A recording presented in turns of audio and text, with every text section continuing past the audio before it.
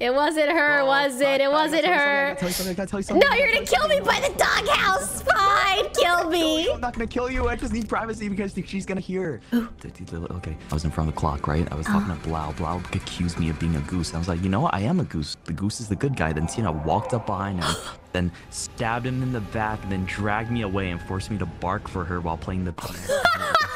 Hey, Shoto, I know you're a goose. Wait, I am a goose because a goose is a good guy. You're not gonna say a ah. single thing. You hear me? You can hear me? You look at me. You're not gonna say a single thing, and you're gonna come with me right now. Get over here! no! Why? And you stand there and you play the piano like a good duck. You hear me? Okay.